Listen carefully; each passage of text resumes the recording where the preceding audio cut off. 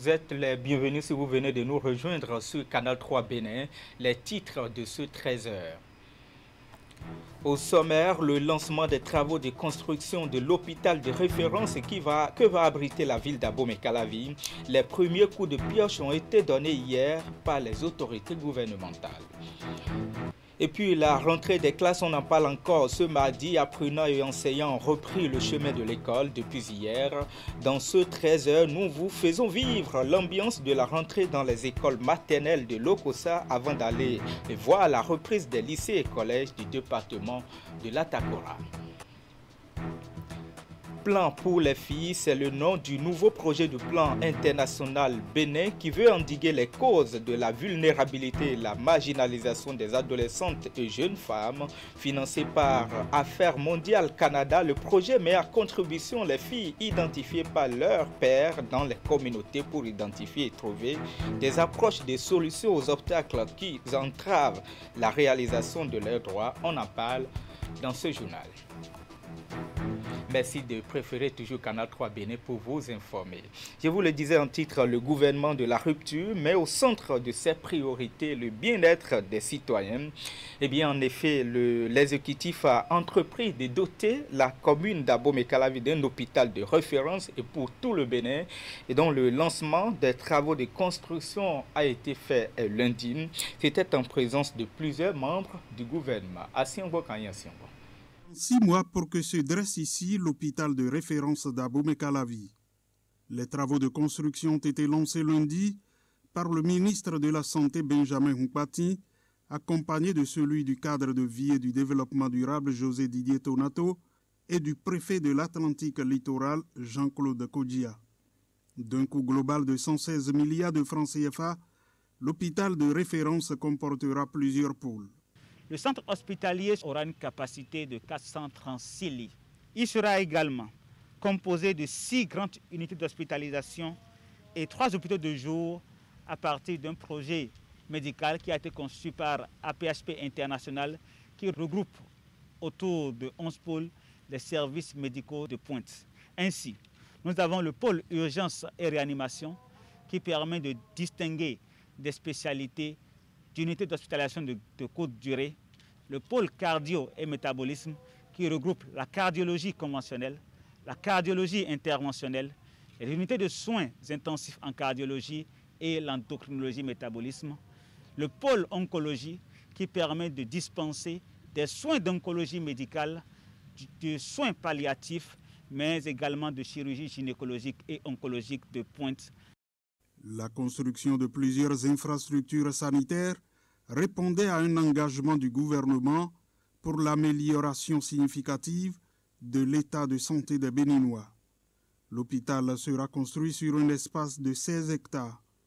Ce centre hospitalier pourra aider à résoudre un certain nombre de problèmes auxquels feront recours la sous-région et le continent. La réalisation de cette grande œuvre, qui, de par son standing élevé, en termes d'équipement et de qualité du personnel, fera rayonner notre pays au plan régional, voire continental.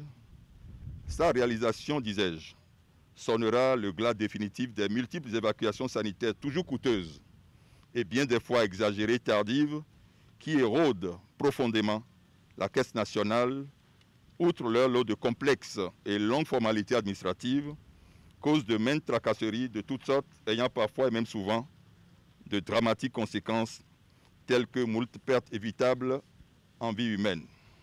D'ici 36 mois, ce centre hospitalier sera réceptionné et mis en service. Santé, toujours on en parle encore. La communauté internationale célèbre ce mardi la journée mondiale du cœur et des vaisseaux. Eh bien, une journée pour sensibiliser les uns et les autres sur les risques qu'entraînent les maladies du cœur et des vaisseaux. Du côté de Bénin, le ministre de la Santé, Benjamin Oupati, dans un message adressé aux Béninois, parle des mesures de prévention. On écoute ici un extrait de son message.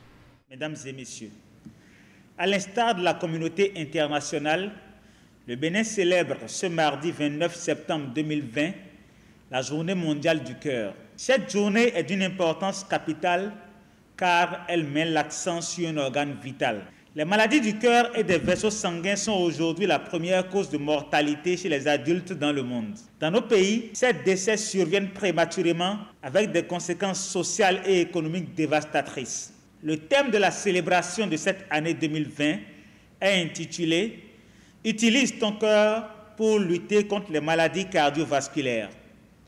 Ce thème met l'accent sur la nécessité de prendre soin du cœur pour éviter le pire. Nous devons donc aider le cœur en mangeant sainement, en faisant des activités physiques régulières et en évitant à tout prix le tabac et l'alcool. Ce faisant, nous sauvons notre propre vie, nous profitons de la vie et nous inspirons les générations futures. La crise de la COVID-19 a l'avantage d'avoir révélé la nécessité de nous mobiliser contre les maladies du cœur et des vaisseaux. En effet, la mortalité liée à la pandémie a été plus importante chez les personnes souffrant de ces maladies. Dans notre pays, les maladies du cœur et des vaisseaux sont principalement dues à l'hypertension artérielle qui concerne un béninois sur quatre. Malheureusement, plus de deux tiers d'entre eux l'ignorent et ne le découvrent qu'à l'occasion de crises graves, souvent irréversibles, telles que les accidents vasculaires cérébraux, les crises cardiaques, l'insuffisance rénale, pour ne citer que cela. Pour cette raison, le ministère de la Santé a décidé cette année de sensibiliser contre ce tueur silencieux qu'est l'hypertension artérielle à travers l'une de nos habitudes de vie qui la favorise, la consommation excessive de sel. En effet, le sel est omniprésent dans nos habitudes alimentaires.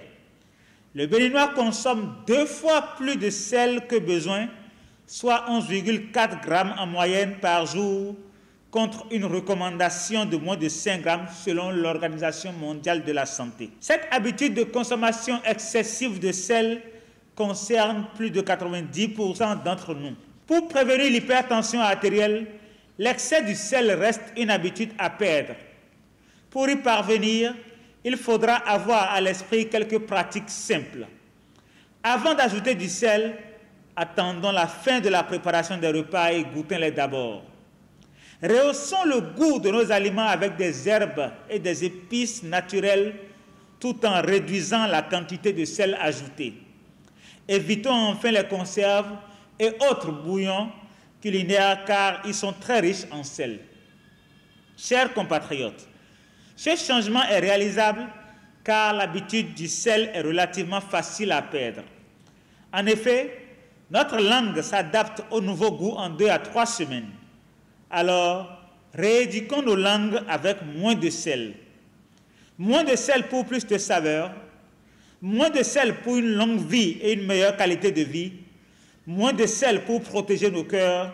Avec du cœur, diminuons notre consommation de sel des messages de sensibilisation à prendre au sérieux. Et je vous le disais, éducation, c'est la rentrée des classes, la rentrée scolaire 2020-2021 depuis hier lundi. Toutes les écoles publiques ou privées ont ouvert leurs portes pour accueillir les apprenants. Une de nos équipes de reportage a fait le tour de quelques établissements scolaires. C'est bien pour constater les mesures prises pour le bon démarrage des cours. Teddy Goudalo,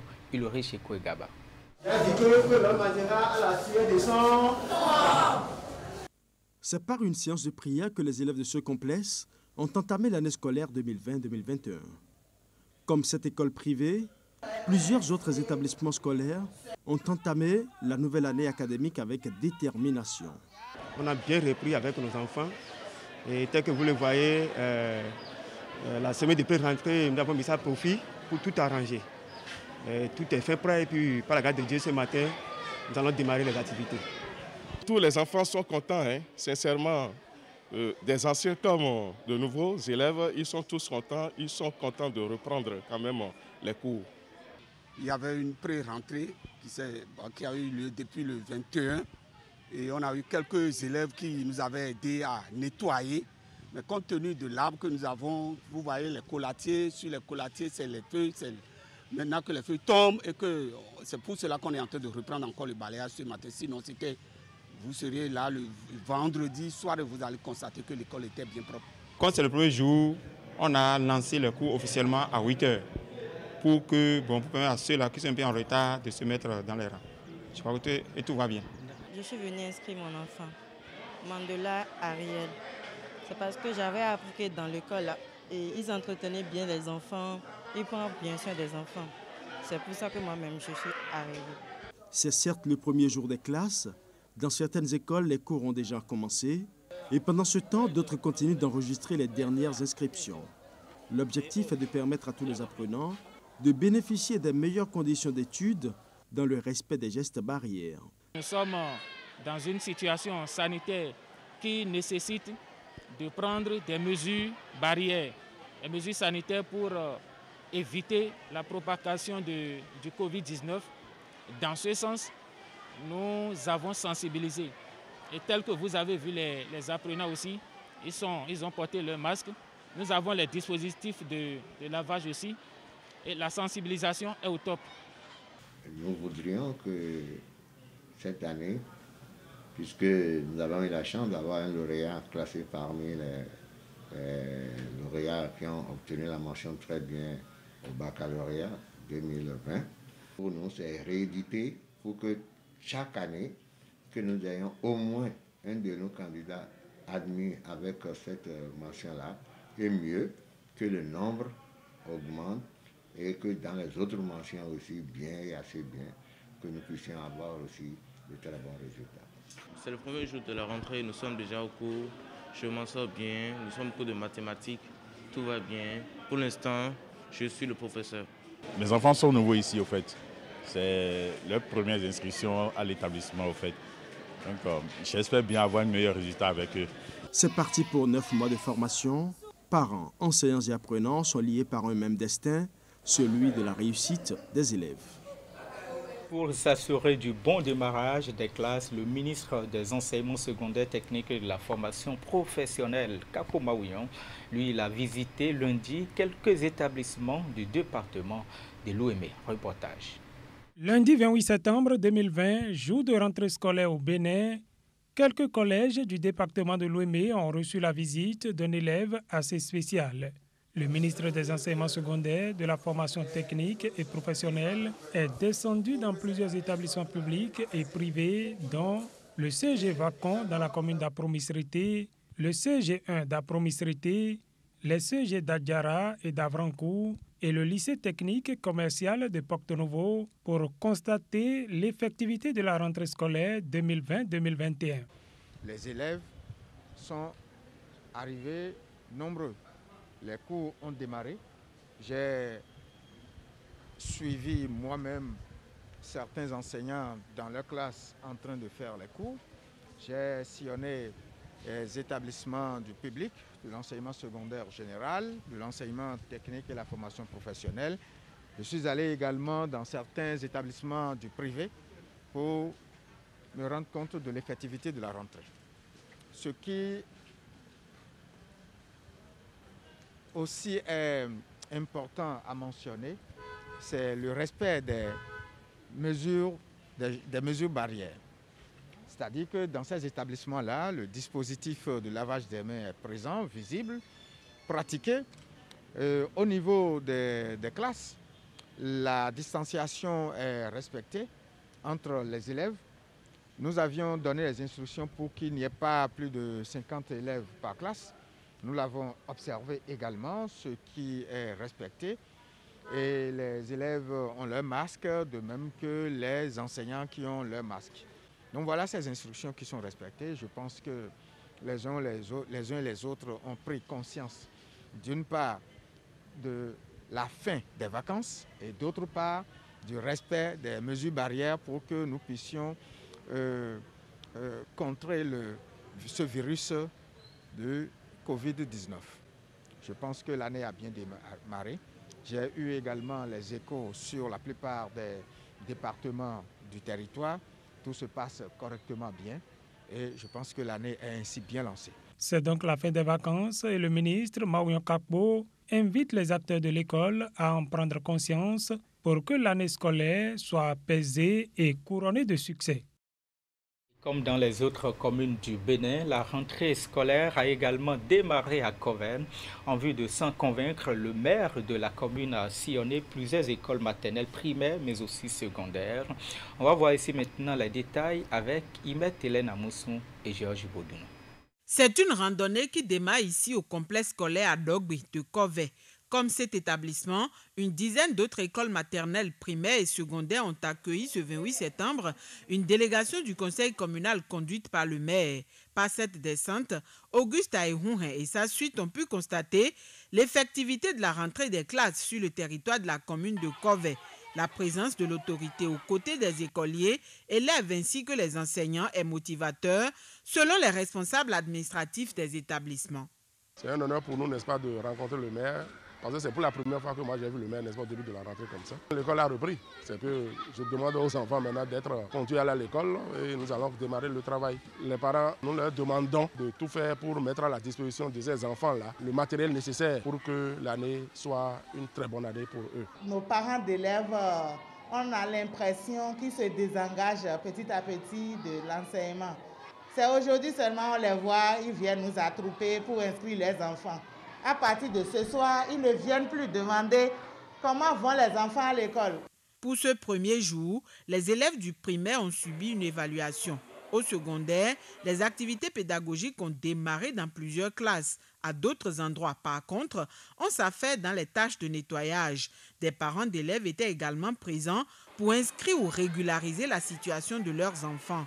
Profitant de la visite du maire, les responsables ont formulé des doléances, des préoccupations auxquelles Auguste Aïhourin et son équipe comptent apporter des solutions.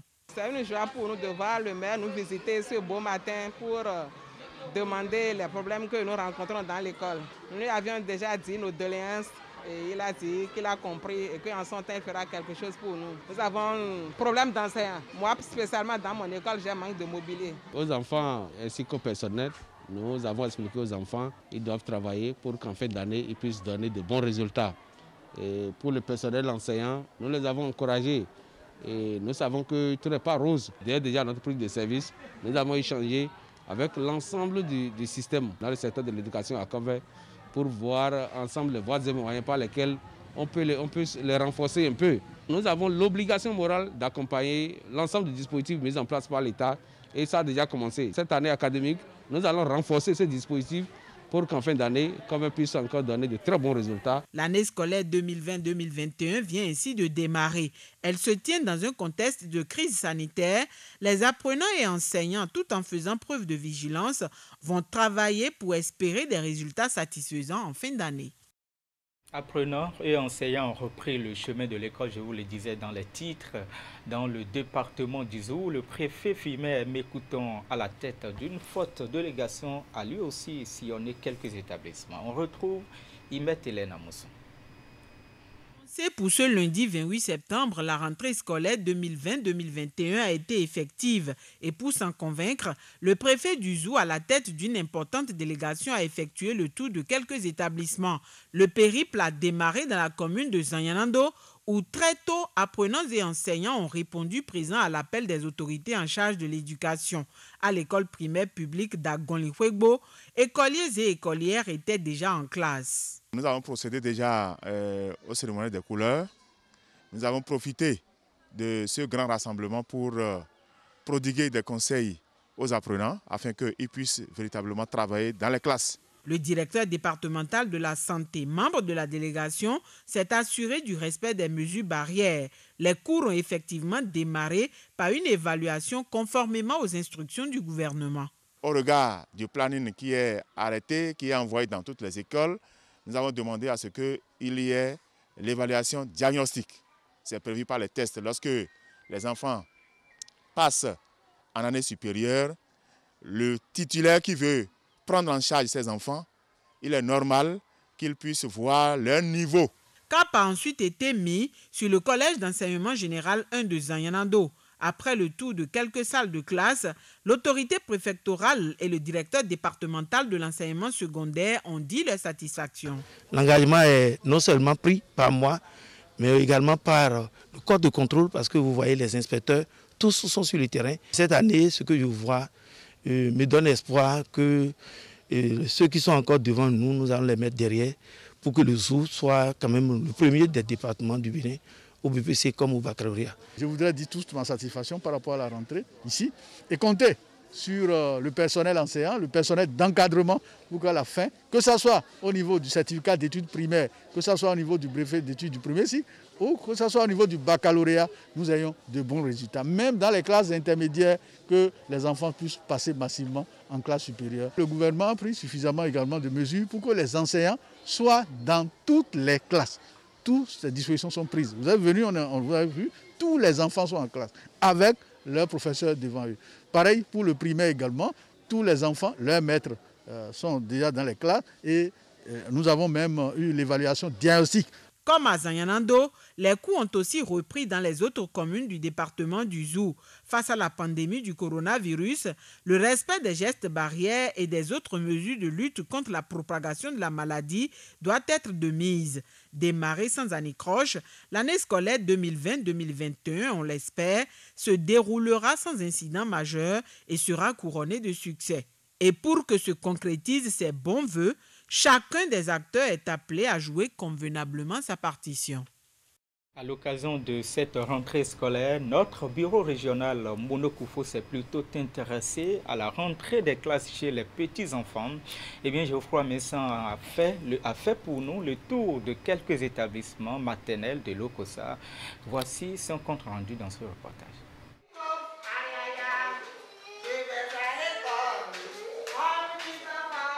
D'eau, vertu de leurs uniformes scolaires, ces bouts de chou coulent des larmes, certains de chaudes larmes. Ah, on n'y peut rien. On a opté pour ça là. On a opté pour ça encore. La séparation est difficile avec leurs parents. Et pourtant, il le faut. C'est aussi la rentrée dans les écoles maternelles.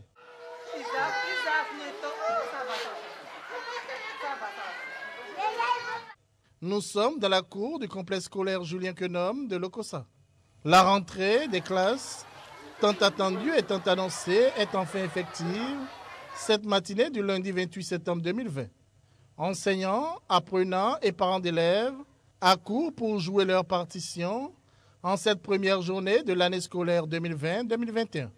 Ça va bien. Oui, depuis, depuis, j'ai dansé. Ce matin, j'ai vraiment constaté qu'à l'entrée même de L'école, il a les dispositifs de lavage de mains, tout, les mains sont, ils ont vraiment porté leur cache-nez. Vraiment, je suis satisfait de ces, dispositifs-là. Nous avons commencé les inscriptions depuis deux semaines et aujourd'hui, les cours ont réellement repris dans toutes les classes, du primaire comme au secondaire. Concernant à côté hygiène, là, on a pris les dispositions, euh, lavage des mains, tout, tout, tout est bien organisé. Chez certains tout petits de la maternelle, on note beaucoup de méfiance et beaucoup d'inquiétude. Et ce, surtout dans le rang des nouveaux venus qui se retrouvent pour la première fois dans l'univers de l'école. Une joie pour moi de retrouver mes mamans et de me retrouver au milieu d'eux pour mener notre travail de tous les jours. Si je suis dans l'école maternelle pilote ce matin, c'est pour inscrire mes enfants. Donc j'ai deux les enfants ainsi que Jésus est venu inscrire. Je peux juste euh, souhaiter une bonne reprise euh, aux enseignants et aux enfants. Mon cri de cœur va à l'endroit du gouvernement, que, que le gouvernement prend à bras le corps le problème des enseignants. Certes, il en fait, mais il reste beaucoup à faire.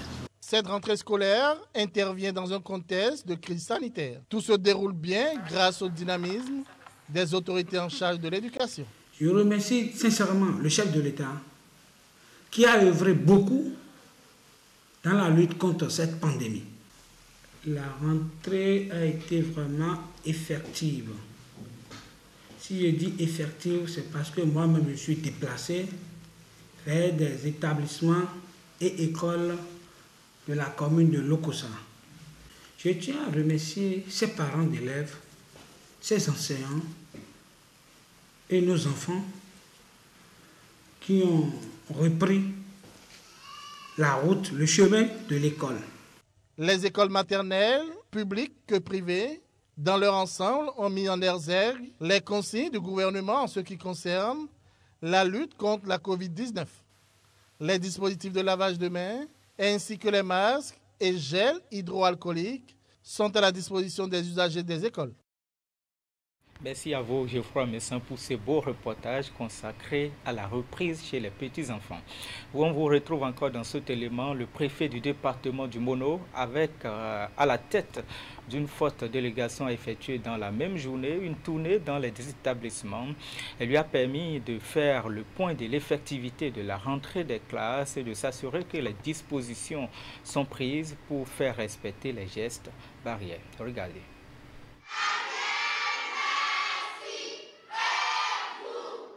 Une nouvelle année scolaire ouvre ses portes au Bénin.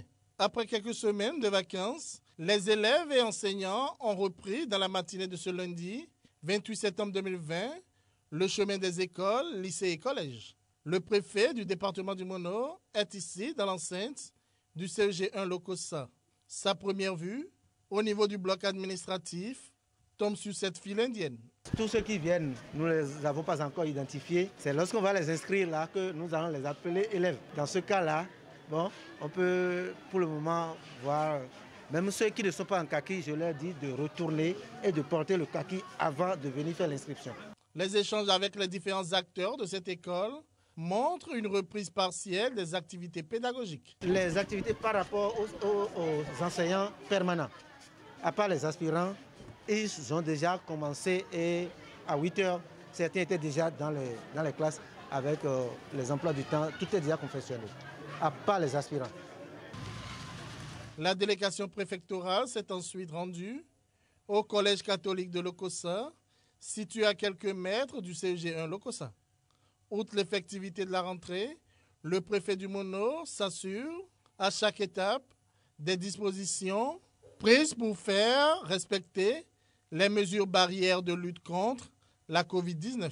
La plupart sont arrivés avec masque. Ceux qui ne sont pas arrivés avec leur masque, nous leur avons demandé de sortir pour aller s'en procurer. Et nous avons aussi prévu tout le dispositif qu'il faut pour le, le lavage des mains. Maintenant, dans le respect de la distanciation, avec les enfants, c'est très pénible. L'étape de l'OCOSA s'est achevée au CEG 4. La délégation a alors mis le cap sur le CEG Atiémé, le CEG Comé, puis sur le complexe scolaire de Ouassa dans l'arrondissement de Posotomé, dans la commune de Bopa. La rentrée a eu lieu. Elle est effective. Tous les enfants sont là. Nous sommes confrontés à certaines difficultés. Le personnel n'est pas au complet. J'ai mis les, les trucs de lavage mais dehors pour que les enfants soient dans toutes les conditions. Et nous avons déjà réparti les fournitures et savons et liquides par mida, tout ça, pour permettre à nos enfants d'être en santé, pour éviter le mal. Pour le préfet comme Lanzinsou, cette reprise des classes rime avec des défis comme plus d'entrée au travail et mieux performer que l'année dernière. Mon message, c'est de demander aux enseignants de ne pas baisser les bras, de continuer, parce que le gouvernement est décidé à les accompagner. Vous-même, vous pouvez le constater. Nous serons leur porte-parole, c'est-à-dire le porte-parole des enseignants auprès de notre hiérarchie. L'école béninoise s'éveille à nouveau. Chaque acteur est appelé à bien jouer sa partition pour un bon déroulement de l'année scolaire, malgré le spectre de la pandémie de la COVID-19. Dans le département de l'Atakora, les écoles sont à nouveau ouvertes aussi. À Natitengu, précisément, les différents établissements sont encore à la phase des inscriptions et des réaménagements des emplois du temps. Régis Hippolyte Agossou, Abdou Sahabi Idrissou. d'élèves qui accompagnent leurs enfants à l'école ce lundi 28 septembre 2020. Elle est admise au CEP. Elle va commencer le collège cette année. Donc, euh, c'est de mon devoir de parent de l'accompagner. C'est un sens de responsabilité que tous les parents devraient adopter, je pense. Je suis très contente que maman m'accompagne. Je promets à maman de bien travailler. Nous sommes le premier jour de la rentrée et c'est le moment choisi ici à l'école primaire publique de Ourbouga pour l'inscription des nouveaux écoliers. J'ai ma petite fille que j'ai amenée pour son inscription en classe de CI. L'école est déjà prête pour accueillir tous les élèves, mais nous attendons la directrice. Si ici, à Urbuga, les parents attendent les occupants de ces bureaux toujours fermés, au collège d'enseignement général 1 et 3 de Natitengu, c'est la grande affluence devant les bureaux. Anciens comme nouveaux élèves déambulent sur la cour, la preuve que la reprise des cours n'est pas effective en ces lieux. Nous avons tous les professeurs qui sont arrivés à 8 heures. Tous les membres de la division étaient également présents. Mais c'est les, les, élèves qui ont fait défaut. Nous avons donné des instructions fermes pour que au moins les permanents, les ACE, les APE aillent en classe. Même s'ils trouvent deux élèves qui démarrent les cours. C'est des instructions fermes et nous veillons à ça. Un constat dont se désole le secrétaire général de la préfecture de l'Atakora, venu s'enquérir de l'ambiance de la rentrée. Le constat que, que je déplore un peu, les cours n'ont pas démarré à 8 heures comme on le constate. Il y a quand même quelques petits réglages encore à faire. Il faut pouvoir caser les aspirants en tenant compte des prescriptions du ministre où il est question d'octroyer 30 heures aux aspirants. 30 heures aux aspirants. Et les loger selon leur diplôme au premier cycle ou au second cycle. Voilà un peu ce qui a un peu bouleversé les emplois étant de ce matin. En tournée de début d'année, le DEDEPS d'Engasagui a parcouru les collèges de Natitengu, de Perman, de Birni, Tchabikouma et Tukuntuna et a fait part aux chefs d'établissement des nouvelles recommandations. Nous avons pu rencontrer les chefs des établissements à qui on a rappelé un certain nombre d'instructions, à savoir euh, la reprise des cours euh, ce jour. C'était un contrat entre nous. La gestion des emplois du temps pour que les enfants ne restent pas trop dehors. Le respect des textes de notre système. Ensuite, le respect des mesures barrières. Nous avons beaucoup insisté sur ça avec les chefs d'établissement pour que ça soit respecté à cause du Covid. La rentrée scolaire 2020-2021 est effective dans la Takora, même si les cours n'ont véritablement pas démarré. Le constat inquiétant est que, de part et d'autre, les mesures barrières contre le Covid-19 sont boycottées. Et bien, dans le même temps, dans le département du Zou, les résultats aux différents examens ainsi que les performances réalisées au cours de l'année scolaire écoulée préoccupent les acteurs de l'éducation. Le directeur départemental de l'éducation, de l'enseignement et secondaire du Zou a saisi donc l'occasion pour rappeler le contenu des cahiers de charge de chaque acteur. Et bien, la rencontre vise aussi à préparer la nouvelle rentrée scolaire. Hélène. Une occasion pour faire le bilan de l'année scolaire écoulée, relever les points positifs mais aussi et surtout ceux négatifs. La rencontre a réuni autour du directeur départemental de l'enseignement secondaire du ZOU, l'inspecteur pédagogique délégué, directeur d'établissement ainsi que le coordonnateur du projet d'appui à l'enseignement secondaire au Bénin. Ensemble, ils ont décrypté les résultats scolaires de l'année 2019-2020, notamment les difficultés qui ont plombé les résultats aux examens du BEPC et du baccalauréat. Chacun a pu également évoquer les insuffisances, problèmes qui ont porté entrave aux performances. Je nous en prie que les analyses soient axées principalement sur notre organisation, notre stratégie de management. Des élèves que nous-mêmes nous avons jugés capables d'aller en classe supérieure pourquoi ces élèves arrivés en classe supérieure échouent? Le problème, certainement, ne serait pas qu'au niveau des apprenants. Ce serait également à notre niveau. Les problèmes ne seront pas seulement liés au milieu. Les problèmes peuvent être également à notre niveau. Je voudrais demander à chacun de faire des analyses objectives. Nous voulons évoluer et pour évoluer, il faut connaître ces défauts. Il faut connaître les insuffisances et les corriger. De l'analyse des uns et des autres, il est ressorti que le manque de personnel, l'enclavement de certaines zones, la politisation par endroits du milieu scolaire, en plus de la négligence en milieu rural de l'écolage, sont les problèmes auxquels sont confrontés le secteur de l'enseignement secondaire dans la région. Il a aussi été évoqué la question de la responsabilité des enseignants, des élèves ainsi que des parents d'élèves. À l'issue des échanges, une synthèse a été faite et des conseils ont été prodigués. Moi, je crois que vous êtes parti avec de très bonnes intentions, mais vos intentions n'ont pas été couronnées de succès. Je salue l'effort et je vous engage à poursuivre et à mieux faire. L'autorité vous donne une lettre de mission. C'est un pari sur l'avenir. La tenue de ce pari dépend de beaucoup de facteurs. Si parmi les facteurs d'influence, vous commencez par avoir des appréhensions, faites un rapport circonstancié à l'autorité pour anticiper les comptes performances. Et comme on n'attend pas que des comptes performances, rendez compte par écrit au directeur départemental.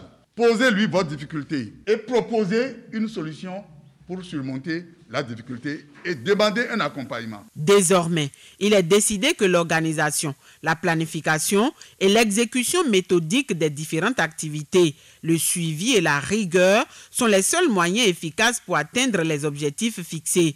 La décision va aussi permettre, selon les organisateurs et les invités, d'assurer à chaque élève une chance équitable d'accéder à une éducation de qualité.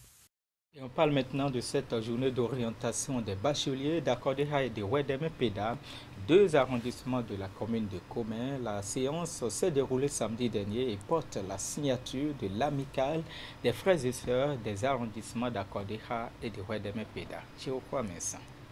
Il a accepté. Je suis allé L'importance d'une bonne orientation académique est ici expliquée à un parterre de nouveaux bacheliers d'Akodeha et de Wedeme-Peda deux arrondissements de la commune de Comé par Maudi Johnson. Il ne s'agissait pas de donner une vision simplement théorique, mais de les accompagner de manière à travers beaucoup d'expériences, à travers ce qui se passe et ce qui est vraiment utile, afin qu'ils puissent savoir que ce qui va se passer, il y a encore beaucoup de chemin à faire et ce chemin peut se faire si on a vraiment de l'engagement, si on a envie d'étudier, vraiment de promouvoir quelque chose de nouveau à travers des compétences. Philosophe, sociologue et planificateur de l'éducation, Maudi Johnson est l'un des animateurs de communication mis à la disposition de ces néo-étudiants par l'amicale des frères et sœurs des arrondissements d'Akodera et de Weremepeda à l'occasion d'une journée d'orientation qu'elle a organisée ce samedi 26 septembre 2020 dans la cour du Collège d'enseignement général d'Akodera. À travers cette journée d'orientation, nous espérons contribuer à une meilleure employabilité des jeunes filles et jeunes gens de nos deux localités. De façon spécifique, cette journée permettra, entre autres, d'analyser de façon succincte l'état de l'éducation dans les deux arrondissements d'Akoria et de Wadamepeda, de mettre à la disposition des nouveaux bacheliers les déterminants de choix judicieux de formation universitaire et enfin de mettre en place un répertoire des étudiants pour un appui à l'insertion dans le milieu professionnel. Pour les étudiants, ceux qui ont fait le déplacement depuis Cotonou pour être présents sur les lieux, ceux qui ont quitté leur maison à Corée, Wademepeda, Dakar et autres, vous savez ce pourquoi vous êtes là ce matin. Prêtez oreille attentive pour suivre les enseignements. Et à la fin, faites votre analyse, faites la fin de la journée pour tirer le son. Ces nouveaux bacheliers d'Akodeha et de Wedebepeda ont également bénéficié d'une expertise sur comment faire le choix des filières.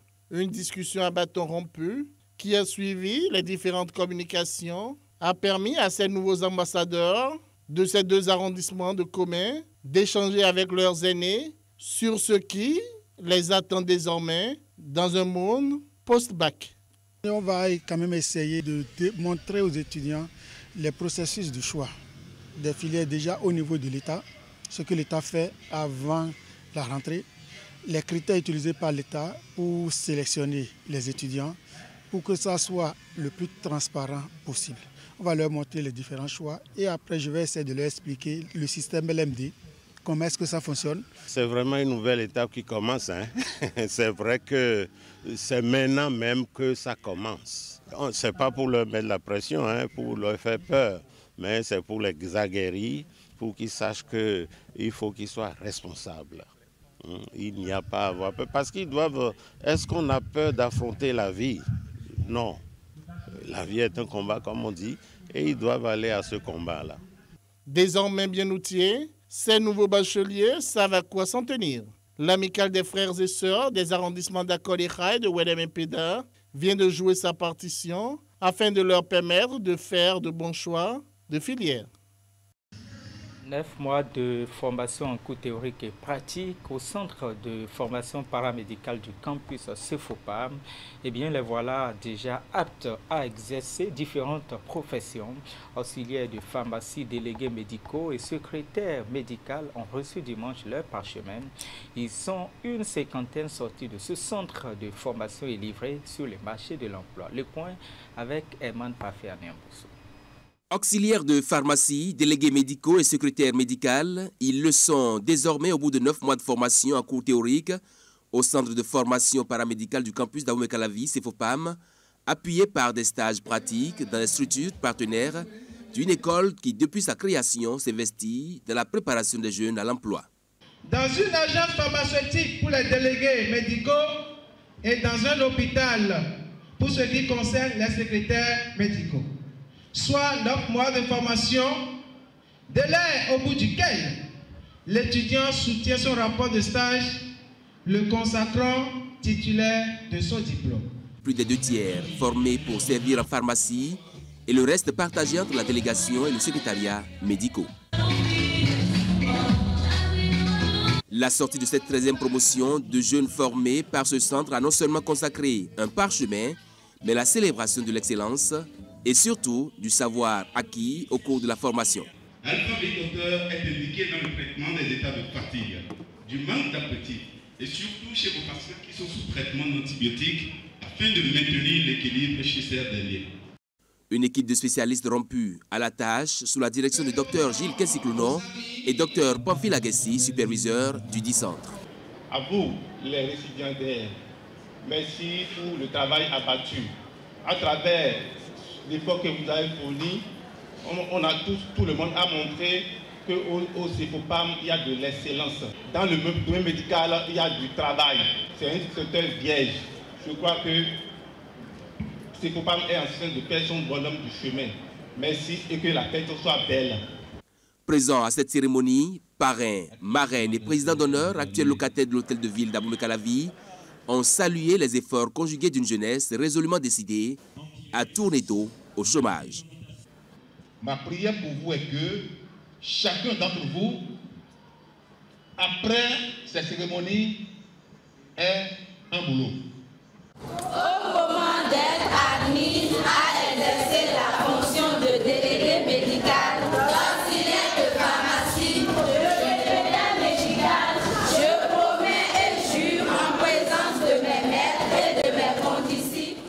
Fin de parcours pour 67 jeunes formés au CEFOPAM. Et pour ceux et celles qui font leur entrée cette année, ils pourront bénéficier non seulement des fruits du partenariat avec l'Institut H-Cube, dont le vice-président était présent à cette cérémonie, mais deux autres filières leur sont proposées. La délégation vétérinaire qui interviendra surtout en zone rurale pour la promotion des médicaments vétérinaires, l'analyse biomédicale en partenariat avec l'école supérieure H-Cube, Cérémonie riche en couleurs et un public égayé par des sonorités locales triées sur le volet. De quoi garder en souvenir ces moments qui marquent la fin d'une formation, mais aussi et surtout l'ouverture sur le marché de l'emploi travers son projet Plan pour les filles, Plan international Bénin veut endiguer les causes de la vulnérabilité et de la marginalisation des adolescentes et des jeunes femmes. Et bien financé par Affaires mondiales Canada, le projet met à contribution les filles identifiées par leur père dans les communautés pour identifier et trouver des approches de solutions aux obstacles qui entravent la réalisation de leurs droits. Imet Elena. Mise en œuvre par Plan International Bénin, le projet intervient dans quatre communes du département des collines. Plan pour les filles vise à s'attaquer aux causes profondes de la vulnérabilité et de la marginalisation des adolescentes et jeunes femmes au Bénin. Le but est aussi de faire d'elles les agents de leur propre développement. Ces filles qui ont été sélectionnées, elles seront capacitées pour travailler avec les autres filles dans leur communauté. Elles vont travailler avec des groupes organisés qui existent de jeunes pour passer l'information, renforcer à leur tour leurs capacités, mais aussi pour les jeunes qui ne sont pas dans des groupes organisés, elles vont se charger de les identifier pour que ça soit une chaîne d'information, une chaîne de formation pour les filles. Le projet pour les filles veut engager différents profils d'adolescentes et de jeunes femmes dans la détermination des obstacles à leur bien-être et identifier les solutions pour lever ou contourner ces obstacles. Les ateliers constituent donc une opportunité à travers laquelle les filles désignées par leurs collègues, par leurs pères, parviendront à ce but. Les ateliers de priorisation organisés à Bante et à Dassa ouvrent la voie vers la mise en œuvre de l'élaboration du projet Plan pour les filles. Il constitue le creuset à travers lequel les filles désignées par leur père parviendront, aux côtés des responsables de l'organisation, à la réalisation de leurs droits ainsi qu'à leur bien-être et à leur épanouissement. Intervenant par visioconférence, la ministre des Affaires sociales et de la microfinance s'est engagée à accompagner l'équipe de plan international Bénin dans la réalisation du projet. Véronique Toinfordé a salué les efforts de l'organisation qui travaille pour le bien-être des communautés. Pendant trois jours, vous aurez la lourde tâche de sous-peser les actions possibles pour lever les à votre bien-être et à la réalisation de vos droits en tant qu'être humain d'abord, et puis spécialement en tant qu'individu de sexe féminin. Et en tenant compte de ce que le gouvernement et ses partenaires ont déjà prévu et de ce qui existe dans nos textes de loi et documents de stratégie nationaux. Le projet Plan pour les filles est financé par Affaires mondiales Canada. Il est exécuté dans les localités de Bante, Savalou, Dassazoumé et Glazoué. Les ateliers de priorisation sont le cadre choisi par Plan international Bénin pour poser avec les participantes le diagnostic des situations qui entravent au quotidien leur épanouissement. C'est également le lieu de réfléchir aux voies et moyens pour inverser la tendance. Le ministre des Infrastructures et des Transports, Hervé Rehome, est allé mettre en service le pont péage-pesage de la localité de Webo dans la commune de Tafom. Construit depuis 2012, le pont péage-pesage n'a pu être achevé et mis en service qu'après financement par l'État béninois. Enfin, le pont péage-pesage de Webo dans la commune de Tafo est mis en service le samedi 26 septembre. Les travaux d'aménagement technique et l'équipement de la station ont été entièrement financés par l'État pour permettre la mise en service de la station. Qu'il vous souvienne que cette station, initialement station de pesage à basse vitesse, réalisée en 2012 sur financement de l'UMOA, n'a pu être mise en exploitation faute de certaines difficultés techniques. Face à cette situation, le gouvernement du président Patrice Talon a entrepris de réaliser les travaux complémentaires et confortatifs nécessaires à son opérationnalisation, ainsi qu'à la mise en place d'un système de gestion automatisé. Cette mise en service du pont péage pesage de Wegbo constitue pour le ministre des Infrastructures et des Transports une preuve de plus de l'efficacité de l'action gouvernementale. Cette station péage pesage fait partie du programme de modernisation du gouvernement béninois. Elle présente plusieurs caractéristiques. Le trafic estimé que recevra cette station s'établit à environ 1400 véhicules poids lourds par jour. À cet effet, elle est composée d'une plateforme de transaction sur une longueur de 800 mètres parallèle à la RNIE2. Elle est constituée de trois voies, dont une voie de pesage équipée d'un pont bascule numérique et d'un pèse essieu fixe destiné à peser les véhicules poids lourds et ceux dont la hauteur est supérieure à 2,55 m et roulant dans le sens sud-nord. Une voie de passage destinée au péage des véhicules poids lourds et ceux dont la hauteur est supérieure à 2,55 m et roulant dans le sens nord-sud.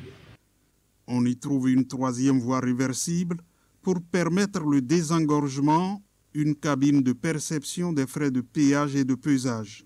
S'y ajoute un bâtiment administratif constitué de quatre bureaux, d'une salle de supervision des opérations et des vestiaires, et un autre destiné aux éléments de la police républicaine, puis un réfectoire et un local de contrôle. Il est prévu, selon le ministre Hervé Khekoumen, la construction d'autres cabines puis d'autres aménagements pour traiter au mieux les véhicules poids lourds venant du sens nord-sud. Et c'est la fin de ce journal que j'ai eu le plaisir de vous présenter. Vous retrouvez le reste de l'actualité sur euh, canal3télévision.com à 2013